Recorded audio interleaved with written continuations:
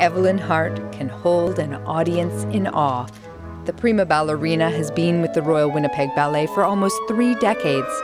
Still, on stage, all she projects is lyrical grace. This is the last time the Canadian icon will perform with the company, but no one knows they're witnessing her swan song. The hardest thing is to be made to feel that somehow I have overstayed my welcome.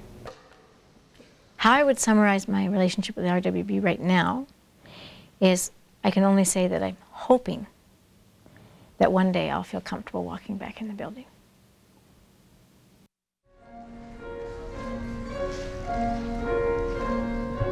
It's May, last year. Rehearsals for the closing show of the 2003 2004 season are underway. Although she has had fewer roles as of late, publicly Hart is still considered the company's principal dancer.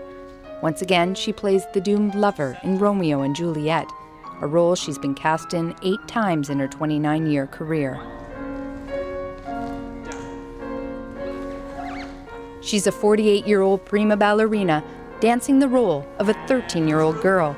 Her partner, Jason Riley, is half her age. He's been very, very, very polite and not mentioning that I'm old enough to be his mother. but I, I feel like I'm 24 when I'm with you. But time won't be denied. The ballet legend is struggling to show people she's still on her game.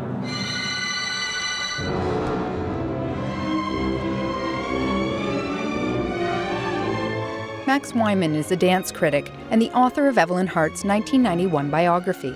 Yes, she's, she's in her late 40s, but she's matured into this wonderfully expressive, wise artist who can still summon the simplicity of a 14 year old and make you believe in it. Uh, when Evelyn's on the stage, you don't look at anyone else. But for some time now, Hart has not been cast in any of the company's highly promoted productions. The ballet has also stopped using her in its publicity campaigns. Signs her career with the RWB is winding down. How has your life changed as a dancer in the last couple of years? The moments on stage have gotten um, more deep and more important and more resonant. The road to get there has become some at moments intolerable. Ballet wasn't a part of young Evelyn's life. Then, at the age of 10, she saw Veronica Tennant dance across her television screen in Romeo and Juliet. When I met dance, it was that was like bam. I mean, it was like whop. And there was just it just consumed everything in me. It was like it was like striking a match and lighting it to a, a, a bundle of paper and it just went Evelyn began her training in London, Ontario at the age of 14. After a brief stint at the National Ballet School, she moved to Winnipeg in 1973 to be a student at the Royal Winnipeg Ballet School. Three years later, she joined the professional division and quickly moved through the ranks to become a principal dancer. Arnold Spohr was artistic director and Evelyn's mentor. When Evelyn came, I thought that girl will be it. It didn't take long for Evelyn to make her mark. In 1980, she became the first Canadian to win a gold medal in a prestigious ballet competition in Varna, Bulgaria. It put both Evelyn Hart and the Royal Winnipeg Ballet in the international spotlight. We finally had a ballerina that is world renowned. The company shifted focus to accommodate Evelyn's talent, changing its repertoire to include the classics she needed to grow as a ballerina. In turn, her performances in Giselle, Romeo and Juliet, and Swan Lake brought the RWB standing ovations and won the dancer everything from a star on Canada's Walk of Fame to the Order of Canada. But there's been a price to pay for success. So, how would you describe your life outside of dance? Boring. really boring. the life of a prima ballerina has meant more than a few sacrifices for Evelyn. A typical night at home revolves around emailing her legion of friends and working on pointe shoes. She's never learned how to drive a car. Her love life has had to take a back seat. And in her early years of dance, she developed an eating disorder known as anorexia. She decided to make her personal struggle public in Max Wyman's book, those words set off whispers that have plagued Hart throughout her entire career. First of all, I think you have to know that probably almost 90% of dan all dancers have a, a certain time period in their life where they're having to uh, deal with a certain kind of issue like that. It's also partly, unfortunately, part of the aesthetic from my point of, of, of an artist is that I prefer to see a leaner body. How much do you have to struggle with eating disorder now? At this point, I'd say that it's really basically sort of in check. It's been really even for a long, long time. Have the sacrifices been worth it? Oh, yeah, like hundredfold. Look at those tutus. Wouldn't you do anything to wear those, those tutus? You see, it's all about the jewels and feeling, feeling beautiful. That's what really it was when I was a kid. And now it's much more about understanding the beauty of the spirit and being able to share that.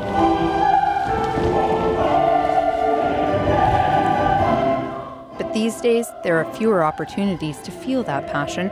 Over the last couple of years, Evelyn has watched from the sidelines as the company has mounted more and more productions without her. I have no visibility and there is nothing. It's really basically they're being kind enough to sort of allow me to finish my career. But there's been no planning, there's been no effort to continue my growth as an artist. And just be careful because it, it came out a little bit. Andre Lewis is the artistic director and a former like dance partner of Hart's. Why has she not been dancing over this last year? Well, I, I mean, without getting into detail, sometimes there were differences between her and the choreographer, perhaps. But I mean, Lewis says the issue of retirement has been on and off the table for the last five years, but Hart refused to give a final exit date, making it difficult to cast her. But certainly, we have tried to do is essentially support her well within what she felt she could do and we felt we could offer her. Hart turns 49 next week, and although the ballet denies it, she believes her age has a lot to do with being sidelined. Has her dancing declined, though?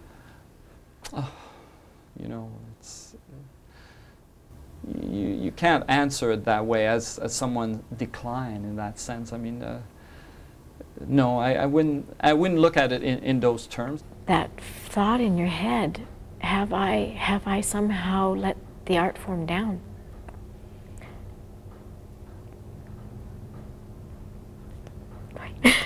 And that would be the hardest thing, ultimately, is to feel that somehow I've let the art form down. And I don't think I have. But Evelyn's not sure if the fight to stay is worth it. By mid season, she's weighing retirement options. Walking away won't be easy. Shopping becomes an antidote for low spirits and sleepless nights. She's a regular at this upscale discount outlet. Isn't that cute? With all the little buttons and the little, the little thingies. Mm. This might have to be my, my little gift to myself at some point when I'm feeling really depressed. The shopping trip is very much about fantasy. Evelyn can't afford most of what she sees. And it's down to 2000 Ending her dance career will also affect Hart's bank account. She's obtained a lawyer to see if she can negotiate a severance package. She has bills to pay. Recently, Evelyn has spent an increasing amount of money on her foot injury and skin treatments to recapture her youth. She feels she needs these things so she can keep performing. Those are only $9. Like, how can you resist? She may be a Canadian icon, but the RWB still only pays Hart an average middle class salary. So it's not a rich company, and it was an agreement way back that in order to maintain the status quo for the company that my salary would remain, but what, what would be given me would be time to go away and sort of do another job to try to augment my salary. So uh, there's a fair, fair financial concern. but financial instability at the end of a dance career is not a new problem. For much of the 20th century, a dance till you drop mentality prevailed. But in the mid 1970s, former dancers who struggled through their own transitions fought for change. And today, four major career transition centers exist around the globe, like this one in Toronto. The Dancer Transition Resource Center offers everything from financial help to one on one counseling for dancers. Joysanne Sidimus is executive director. She's also an ex dancer. Sidimus dealt with her exit from the stage by writing a book about the transition of others. I found that 15 of the men that I had worked with had committed suicide, and that there were nervous breakdowns, there was drug addiction, alcoholism. Sidimus says she started the center because some dancers were not properly equipped to deal with life after the stage. We've been fueled by passion. Passion is what informs your choices. And um, they, they have a hard time believing that there's anything else that will take that, really take the place of that.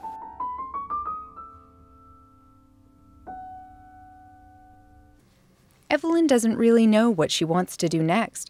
Her direction changes daily. She could freelance as a dancer, but she's also suggested becoming an interior designer or opening a cookie shop. That's where the panic comes, is to know how do I find something that will allow my soul to be express, expressive, because otherwise then I, I would feel like I was dead. Oh.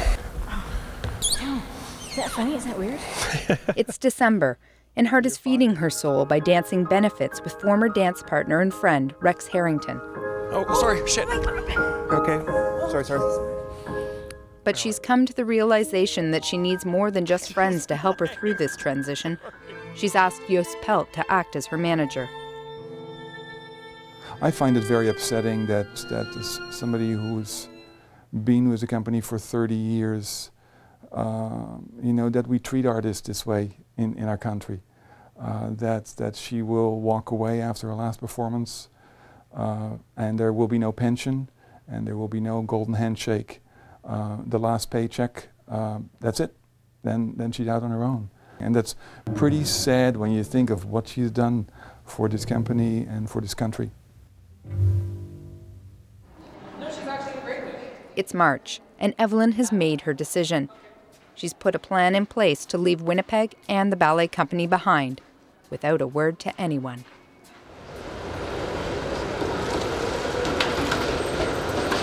I know it's going to be smaller because I'm moving downtown Toronto, and you know it's four times more expensive than Winnipeg. Hart has sold her Winnipeg home and spent her life savings on a condo in Toronto. So you're wedged between two futures? Yeah, yes, yes. And no one in Winnipeg knows she plans to move in April before the dance season ends. Honestly, with the situation with Winnipeg, I just feel that I need to make a clean break in order to find out where I could go. What do you hope that this city will have to offer you?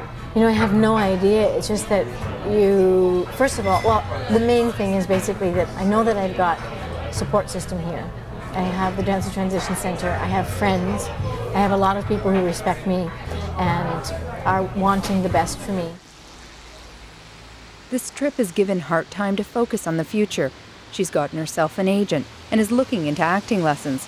And most importantly, she's formulated a plan for her final RWB performance. Still in Toronto, Evelyn is welcomed at the National Ballet. Here she can maintain her form and today she's starting to prepare for her final bow. She's going to perform her farewell dance without telling the company or the audience what they're witnessing. Got little bits of Giselle and Swan Lake and Sleeping Beauty. She shares her secret with friend and ballet teacher Lindsay Fischer. I opened a purse and I threw rose petals, and I thought it's perfect. I'll go out laughing. Yeah, yeah. Back in Winnipeg, the company still knows nothing of Evelyn's plans. It's just announced its next show, Rodeo, Hart is only scheduled to dance a six minute pas de deux. It's the only piece she will dance the entire season. She's asked the RWB to add a comedy number to the program, but she won't tell them why.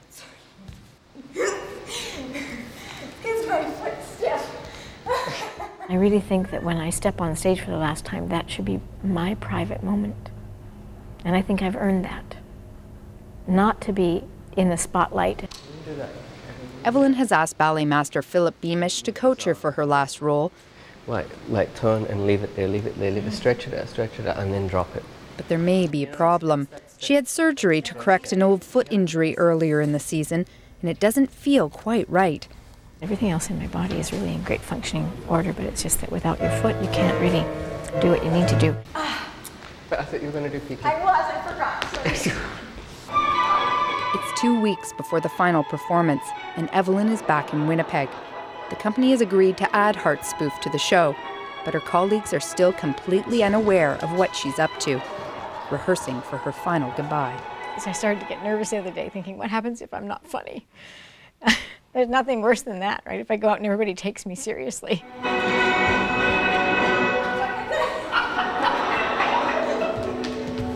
That's it. It. Evelyn gets some badly needed moral support when old friend and mentor Arnold Spohr drops by. Yes, I need that. Come on. It seems only fitting that the person who started her RWB career is unwittingly here to witness the end of it.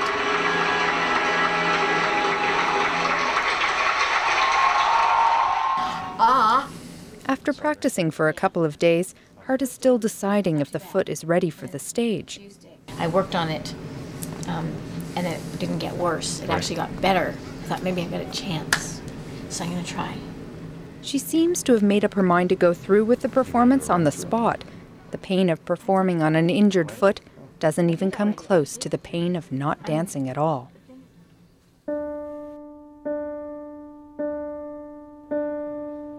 It's the morning of the final show.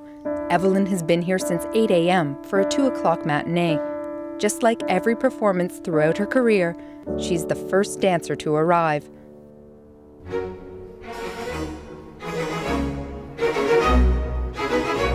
But this is not just any morning, it's her last backstage warm up, and no one else knows it.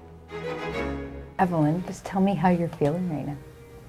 Um, just a bit panicked as to whether or not my legs are going to make it through the show. my legs are really tired. Total 22 to your left. First belt. The audience arrives for the show. There's no mention of Hart's comedy in the program. It's been added to the show so late, Andre Lewis must make an impromptu announcement. After this, we have an addition in your program. It's not written in, in your program. It's called Le Grand Pas de Deux, which will feature Evelyn Hart again and Robert Tewsley. And as Evelyn Hart begins to dance, only she knows that her 29 year career with the RWB is coming to an end. Will you have fond memories of your career at the RWB? Oh, yeah. It's been my home. And already making the decision to move on makes me grow fonder. There's no way that that's not going to be the most important relationship of my entire life. Behind the scenes, the details of her retirement, financial and otherwise, have yet to be finalized. But on stage, she still managed to go out on her own terms. I wanted to leave laughing. I, want, I wanted Winnipeg to leave on a, on a happy note.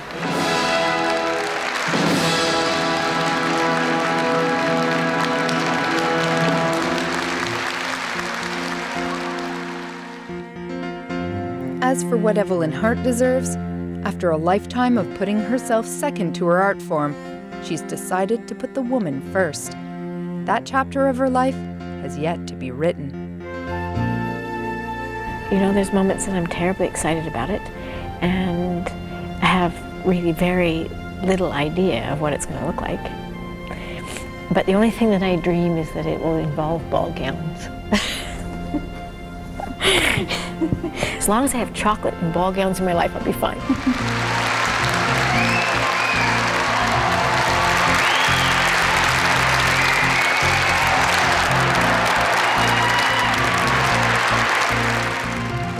For The National, I'm Barbara Brunzell in Winnipeg.